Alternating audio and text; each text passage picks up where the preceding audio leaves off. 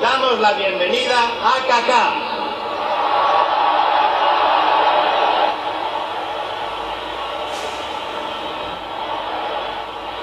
Hoy es un giorno muy especial para mí perché è nato un nuevo blog Calvizzano Web